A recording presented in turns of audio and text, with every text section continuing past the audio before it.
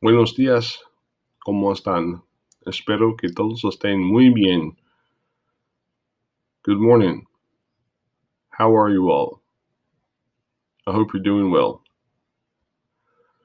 Today we're going to talk about the verbs ser and estar. Here's the interesting thing about these verbs ser and estar both mean to be. So the Shakespearean quote everyone likes to use to be or not to be, that is the question. English speaking learners of Spanish should ask to be or to be, which one should I use, you know? uh, you do use ser or estar depending on the situation you may be in. Let's just keep it simple and we'll talk about uh, the verb ser for today. But going into this, I want you to understand there's a difference, and I want you to understand what the difference is. So here's a little rhyme a, a colleague of mine taught me from Burns High School, representing back in the day. How you feel and where you are is when you use the verb estar.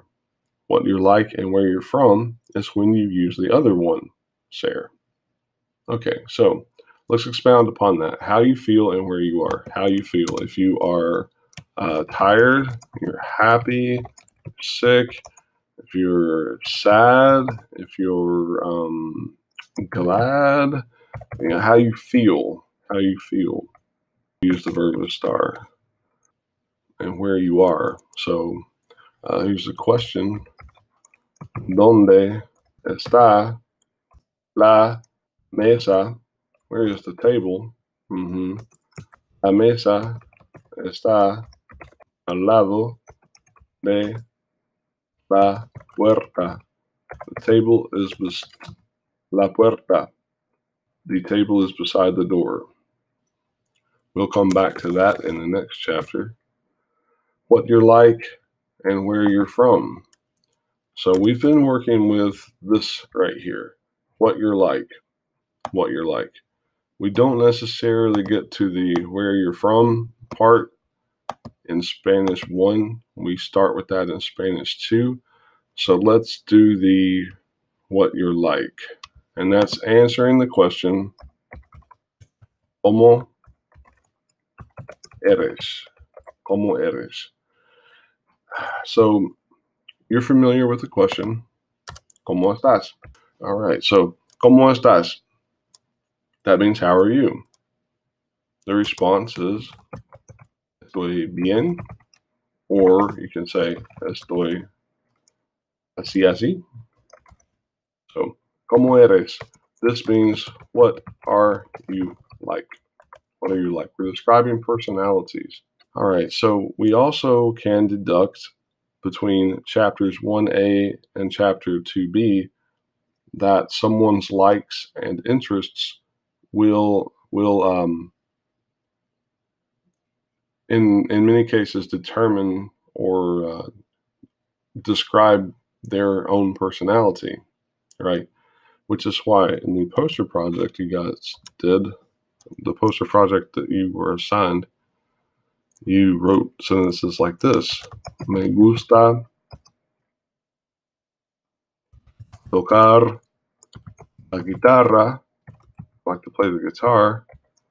And then you coupled it with a sentence like this Soy talentoso. Or if you're female, talentosa. Right? Me gusta tocar la guitarra. Soy talentosa or talentoso. Yep. Okay. So these are the verb conjugations for the verb ser.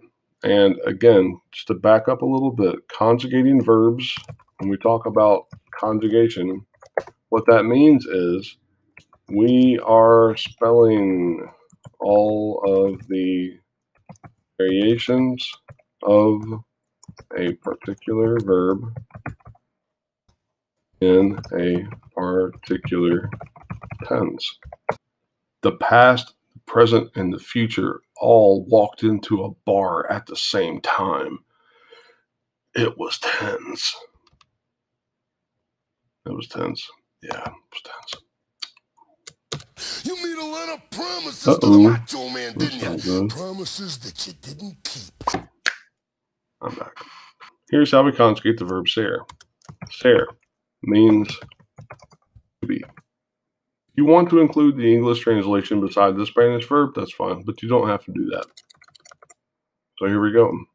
We're going to list the conjugations in order, making the house, and then putting the verbs, um, the the different spellings of the verb in their particular rooms. Just to review that. So we've got the yo form, the tú form,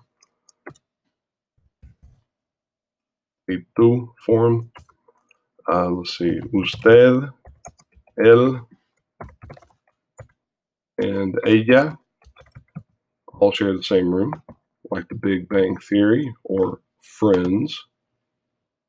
Nosotros. We also have the the vosotros form. Vosotros is only used in Spain. All right. Ustedes, ellos, and ellas. Also, sorry, I forgot the feminine form here. Nosotras, vosotras. Okay, good. Every language is a code. So, uh, oh, and when you switch back and forth from Spanish to English, you know they, uh, they say that's called speaking in Spanglish. The um, linguistic definition of that is actually called code switching. Code switching.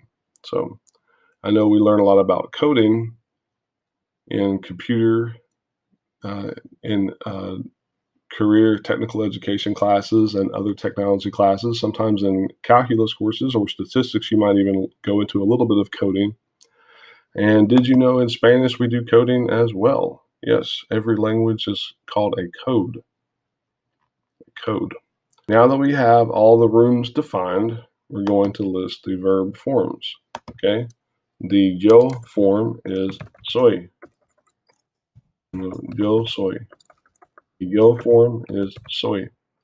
The tú form is eres. The usted, él, and ella form is es. The nosotros and nosotras is somos. Vosotros and vosotras is sois. And ustedes, ellos, and ellas is son. Very good. So that's how you conjugate the verb ser. All right, on Canvas, you're going to have some example sentences. And I want you to refer back to this video and the lesson notes that I will leave in the announcements. Or uh, I'll, I'll have the lesson notes with the assignment and the sentences. So, you know, please watch the video first and then complete the assignment. If you have any questions, shoot me an email linked in this video right up there. And we'll go from there. Awesome, guys. It's been real, it's been fun, and it's been real fun. Peace.